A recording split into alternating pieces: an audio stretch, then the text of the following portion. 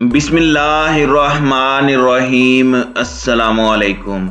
नाजरीन कराम नई वीडियो में आपको खुश आमदीद कहते हैं, रूसी फौज दारुल हकूमत कीफ में दाखिल हो चुकी है। यूक्राइनी सदर हीरो से ज़ीरो बन गया और मुल्क से फरार हो चुका है। नेटो की धमकी पर प्यूटन का ऐसा जवाब कि सब की दौड़ें लग गईं। व्लादिमीर जिलेंक्सी कहाँ पर फरार होकर गया है, इसकी तफसीलात आज हम आपको इस वीडियो में बताएँगे। ताहम वीडियो की तफसील में जाने से पहले चैनल पर नए आने वाले दोस्तों से गुजारिश है कि हमारे चैनल को सब्सक्राइब कर लें, बेल आइकन पर क्लिक कर लें, ऑल नोटिफिकेशंस को ऑन कर लें, ताकि हमारी नई आने वाली वीडियोस आपको बर वक्त मिल सकें। नाजरीन कराम जिस दिन अमेरिका ने यूक्राइनी सदर व्लादिमीर जिलेंसी को जहाज़ भेजने के हवाले से कहा था और उसकी जानब से कहा गया था कि मुझे जहाज़ नहीं, बारूद चाहिए। मैं इसी सरजमीन पर लड़ूँगा, मरूँगा, मेरी फैमिली यहाँ पर है। उसी दिन हमने आपको वीडियो में बताया था कि व्लादिमीर जिलेंसी जो अभी हीरो बन रहे हैं, वक्त आने पर ऐसा ना हो कि ये ज़ीरो बन जाए। इस वक्त रूसी फौज की पेशकदमी इतने बड़े पैमाने पर नहीं थी और व्लादिमीर जिलेंसी को यकीन था कि मगरबी ममालिक की जानब से उनकी ज़रूरत को देखते हुए उनकी मदद की जाएगी और मगरबी ममालिक अपनी अफवाज यूक्राइन में उतार देंगी और रूस के खिलाफ उसका यह दिया हुआ बयान उसके लिए बहुत बड़ी सपोर्ट साबित होगा और वो यूक्राइनियों में हीरो बन जाएगा। क्योंकि मगरबी ममालिक की जानब से उसे इतना हौसला दिया गया था कि दो चार दिन या छह दिन तक लड़ी जाने वाली जंग के बाद इसके खात्मे के हवाले से बातचीत हो जानी थी। लेकिन नाजरीन, रूसी सदर विरादी मीर प्यूटन जिस मुसम्म इरादे से डटे हुए हैं, उसने अमरीका क्या मगरबी ममालिक नेटो और दुनिया के बड़े बड़े तजियाकारों के तमाम तजियों पर पानी फेर दिया है।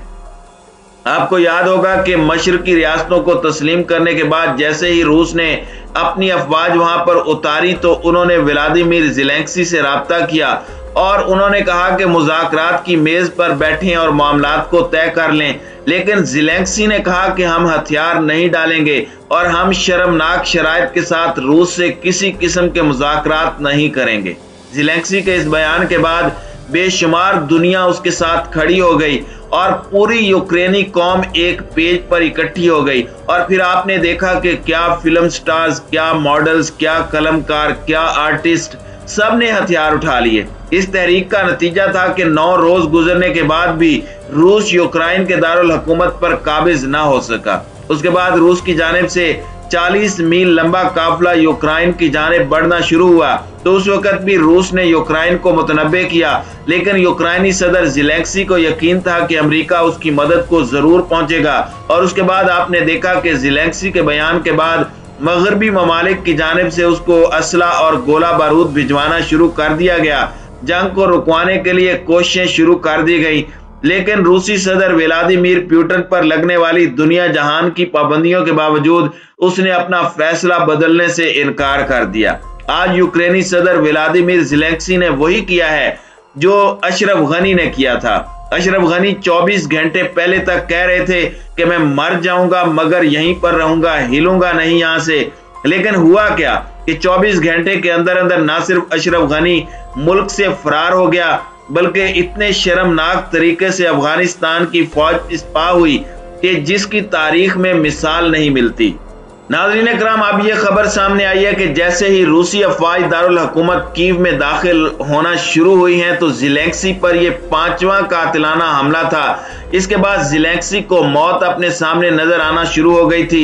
मुस्लिम चेचन जान, जानबाजों की जानब से किया जाने वाला खौफनाक हमला इतना अचानक था कि जिलेक्सी को यकीन ही नहीं आया कि इस तरह से भी उसे टारगेट किया जा सकता है। मुस्लिम जानबाजों की जानब से ये हमले यके बाद दीगरे किए गए हैं। इससे पहले दूसरे हमले के दौरान मुस्लिम जहांबाजों के बड़े काफिले को टारगेट किया गया था, जिसमें पंद्रह मुस्लिम चैचन जांगजू जो हैं वो शहीद हुए थे। चुनाचे यूक्राइन के सदर जिलेक्सी जो के हीरो थे, अब वो ज़ीरो बनकर अपनी आवाम को जंगजदा हालात में छोड़कर फरार होकर पोलैंड की सरजमीन पर जा पहुँचे हैं और वहाँ से फिर वो यकीनी तौर पर अमेरिका या फिर दीगर ममालिक में जा सकते हैं। लेकिन इस बड़ी खबर के सामने आने के बाद न सिर्फ़ यूक्राइनी फौज के हौसले टूट गए हैं, बल्कि वो जिस जिलेंसी को मुजाहमत का इस्तारा समझ रहे थे, वो रेत की दीवार साबित हुई है।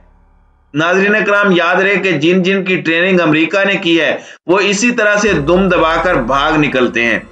अशरफ गनी का हाल आपने देख लिया कि जिसके साथ अफगान तालिबान बातचीत करते रहे और कहते रहे कि आप हमारे अपने ही हैं और बातचीत के ज़रिए मामला क्लियर करें।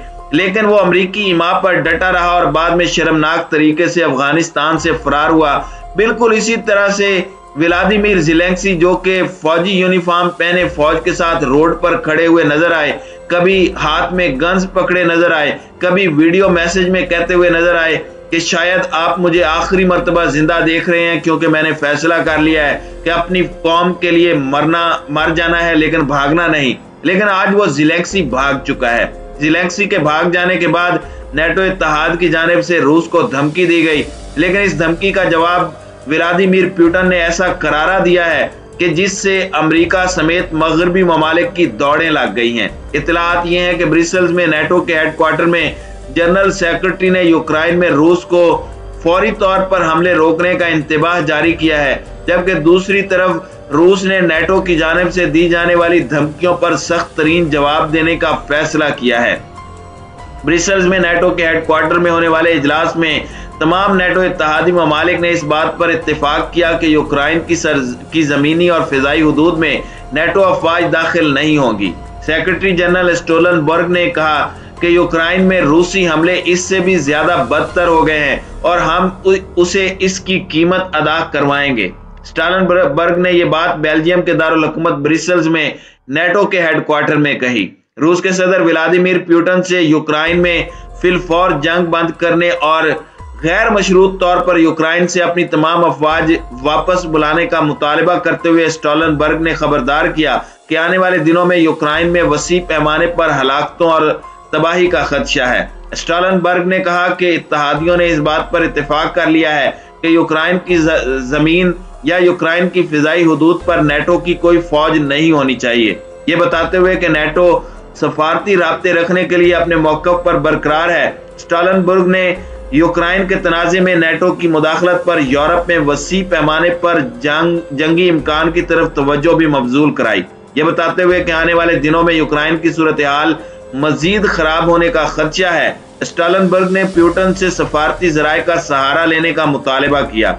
स्टालनबर्ग के इस बयान के बाद रूसी फौज की पेश कदमी में तेज़ी आई है और इसके साथ ही रूस की जानब से ताबड़तोड़ मिसाइल हमलों से नेटो इतिहाद को सख्त तरीन पैगाम दे दिया गया है कि रूस अपनी सलामती पर किसी किस्म का कोई कॉम्प्रोमाइज नहीं करेगा और जब तक अपने मतलूबा अहदाफ हासिल नहीं कर लेता, तब तक ये हमले जारी रहेंगे। नाजरीन कराम याद रहे कि आज फ्रांसीसी सदर से बातचीत करते हुए उन्होंने कहा था कि हालात बदतर नहीं है, बल्कि अभी हालात ठीक हैं। बदतर हालात का अभी आपको अंदाज़ा ही नहीं है। जब रूस अपनी पूरी ताकत से यूक्राइन पर हमला आवर होगा, तब आपको बदतरीन हालात का अंदाज़ा होगा।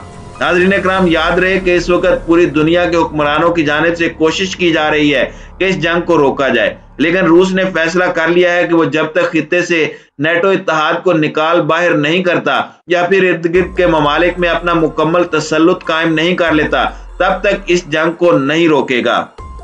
यूक्राइन में जौहरी तनसीबात को भी मुकम्मल तौर पर तबाह कर दिया गया है। रूस का मिशन है कि वो यूक्रेन को मुकम्मल तौर पर गैर मुसल्ला करेगा, उसके बाद ही मुजाकर किए जाएँगे।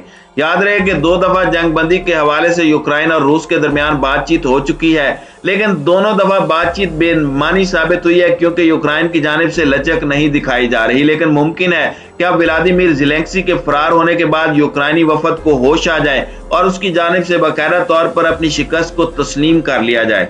याद रहे कि इस वक्त यूक्राइन के दारकूमत कीफ के इर्द गिर्द तमाम रूसी अफवाज ने चारों जानब से मुहासरा कर रखा है और उनकी जानब से कोशिश की जा रही है कि यूक्राइनी अफवाज हथियार डाल दें और वो पुरमन तरीके से यूक्राइन के दारकूमत में दाखिल हो जाएँ।